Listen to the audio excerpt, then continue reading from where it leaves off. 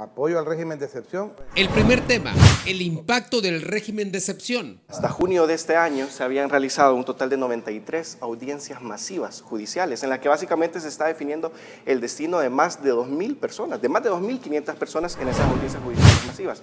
Yo creo que es importante lo que recalcó usted, diputado. Esa conversación que usted tiene con la gente en el territorio es valiosa. Creo que es de reconocer que la gente en algunos lugares se siente mucho más segura, pero también es importante arrojar sobre la mesa que hay un segmento de la población que no es un segmento demasiado pequeño y que de hecho lo hemos visto que se han estado expresando en las últimas horas frente a la Procuraduría General de la República, diciendo que ni siquiera saben en qué cárceles están y ni siquiera saben si están vivos. Y esto no es defender a ningún pandillero, esto es poner al centro de la conversación política al ser humano. Esto respondió el diputado Romeo Auerbach.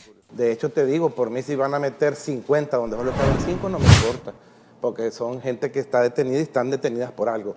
Eh, que se han perdido vidas, dice eh, el, compañero que está debatiendo aquí.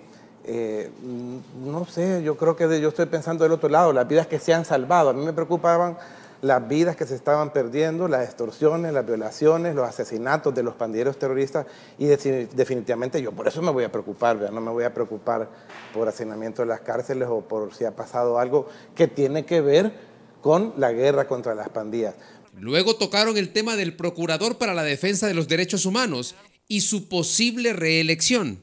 Y este procurador, que como bien señaló el diputado, fue electo por la legislatura anterior, hoy está buscando la reelección.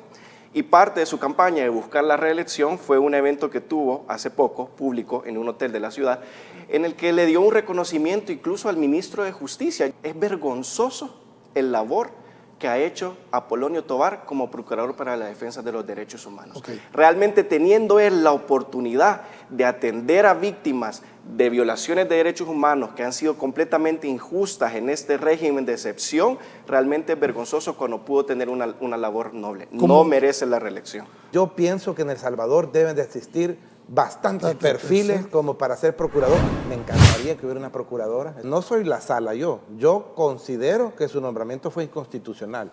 Eh, será una sala la que diga si eso sí fue o no fue. No soy yo magistrado de la sala, pero como ahora soy diputado, en aquella ocasión era un ciudadano. Hoy como diputado, como yo considero que eso fue así y considero que su accionar... ser consecuente. Y, considero que su accionar no ha sido el, correcto, por lo menos mi voto, aunque votaran 83 diputados con él, mi voto será en rojo, en contra.